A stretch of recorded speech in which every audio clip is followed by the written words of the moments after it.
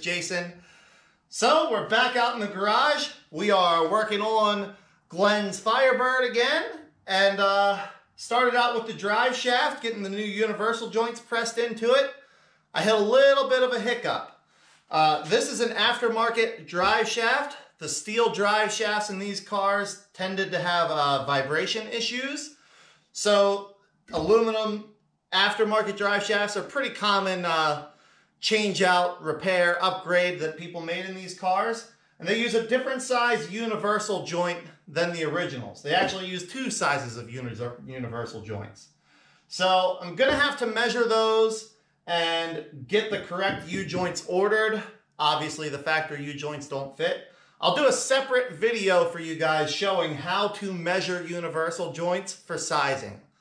But uh, we're gonna sit this to the side for the time being and work on a bunch of the other parts that we have to, uh, to get put onto this thing. All right, let me show you the other stuff that we're putting on. So these are all really nice parts, high quality stuff. We have a new torque arm. Glenn got this from BMR. Same with the new track bar. And they both have urethane bushings.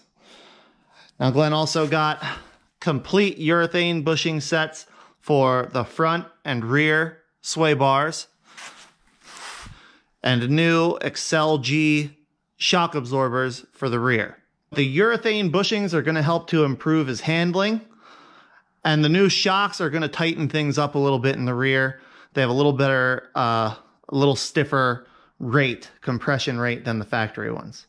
Pretty much all of this stuff is remove and replace.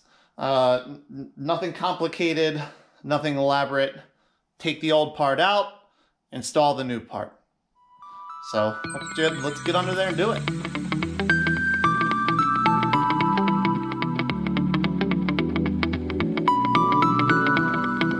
So far, smooth sailing. We've got the original sway bar bushings and end links out on the rear. We've got our new ones here. Bushings and links. Before I put this back in, I'm gonna go through, there's corrosion where the old bushings rubbed, so I'm gonna clean that off with a, with a buffing wheel on both ends. And then just wipe the whole bar off and make sure I don't see any cracks or damage or anything like that. And then we'll go ahead and get it put back up in there.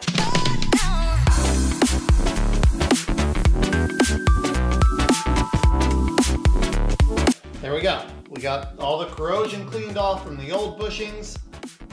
We got our new urethane bushings in place. Plenty of urethane grease on them.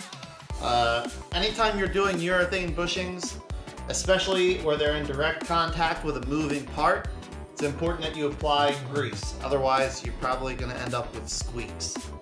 So now we'll just put it back in in the opposite order of removal. All right, next thing we've got to, we're putting on here is this new solid track bar. So this one, also from BMR, it's greasable on both ends. It has urethane bushings. This is the factory track bar here. You can see that it's made out of a piece of U-shaped stamped steel. These have a habit of flexing under high torque loads. So this is an upgrade not only in the handling department, but also in the maintenance department. Having those grease fittings on the end will help to uh, keep those bushings healthy for a long time and, and doing what they're supposed to do. So it's just two bolts. Take the old one out, put the new one in. Make sure you get the grease fittings once it's all installed and the bolts are tight. All right, everybody. So we're moving right along. So we've got our old shock absorber here and one of our new shock absorbers here. Now, if you've never done these before, the lower mount where it mounts to the axle is very straightforward. The stud goes into the axle, you tighten the stud end, and then you tighten the shock end uh, until the bushing starts to squish. Make sure these have nylock nuts. Make sure that you get the nylon engaged on the thread because that's what keeps it from backing off. Now the top of the shock is a stud mount. This stud pokes up through the floor of the car. You put your bushing down on top once the stud is through the hole. And then you put the, the washer and the nut on and tighten it down. It's a relatively straightforward approach. Now the only trick to this is you have to access the stud from inside the car. So you can remove your rear speaker cover right here. It's just held in place with three little push clips. You just lift up and inward on it and it comes off. Then you can fold your carpet back and right down in here, that hole there is where your upper shock stud pokes through. And if nobody's messed with it and or they've put it back together in the past the way it should be, this little piece of foam is going to be right on top of it. The nice thing about this design is it keeps those threads from getting real corroded and nasty, so that nut almost always spins right off. Okay team, we're cruising right along. Let me show you where we're at. We've got our new sway bar bushings and sway bar end links installed. We've got our new rear shock absorbers installed. We've got our new track bar put in. Same on this side, bushings, sway bar links, and shock absorber. I went ahead and got the new torque arm installed. And this thing, I have to think it's gonna be just a huge upgrade. It's so much more rigid than the old one. And the same with the uh, with the track bar. It's so much more rigid than the old one. This car is going to handle so much better through turns than it did before by taking all that flex out. Uh, the next thing we're going to do, if you remember from the last video, I showed you that the transmission pan is leaking. And you can see it's even still got a drip on it right up there at the front. So I'm going to take this transmission pan off and see what happened inside of it, why it's damaged. Hopefully it's literally just, it was damaged before they installed it and nobody saw it. There's not something hanging inside of that pan that we need to be worried about.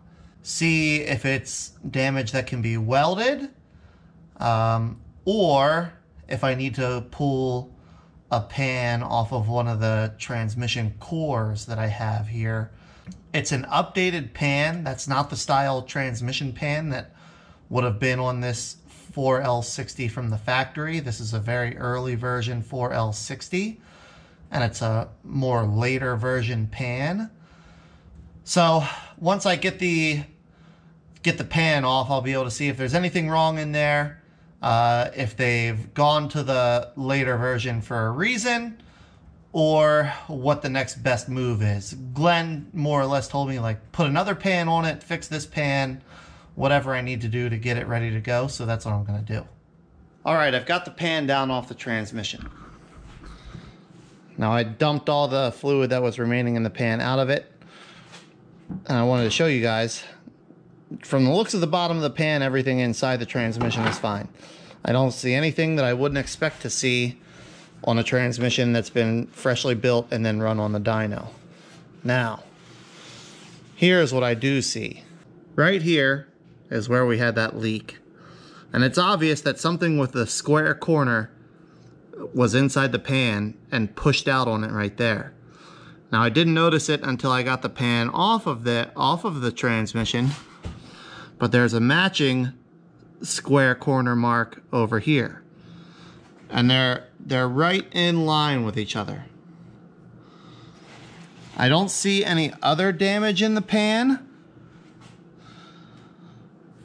But my suspicion, my hunch is they might have sat the valve body or some other part in here when they were disassembling the transmission and then it got hit or bumped or something heavy put down on top of it and that pushed it down into the corners here hard enough that it made a little hole here right in the side of the pan. And you can see very obviously this is damage from the inside. So this happened before the transmission ever got to us, ever got shipped. This happened you know, during assembly or prior to assembly. Now if I hold it up to light here, you can actually see light coming through that hole there. Who's ready for an update? So I did wind up pulling a good pan off of one of the core transmissions I have here. It's the updated pan to match the updated filter. And it looks like they did some updates inside the transmission and the valve body also. So I think the updated pan was the right way to go. It's all nice and clean, looks good. Looks like it was there from the factory. So we've only got a couple things left to do. I gotta change the engine oil, which that's quick and easy, and get the front sway bar bushings and sway bar links replaced. Well, you probably guessed it. We've got the front sway bar out. We're gonna get the old bushings off and then we're gonna get the new bushings and new sway bar links installed. The oil is draining. We'll treat this sway bar just like the other one.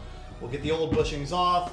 We'll polish up where the bushings ride just to make sure that all that corrosion is off and it doesn't prematurely wear the new urethane bushings.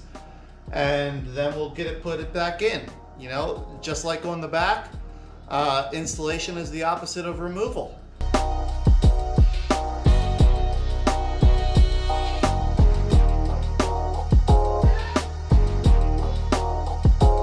Okay, new bushings on. Let's get it put back in the car. Little tip here for you. If you're working on something that has a vertical oil filter, what I mean by vertical is the oil filter opening is pointed up. It helps your engine build oil pressure sooner on that initial fire up if you can fill the filter with oil before you put it back on the vehicle.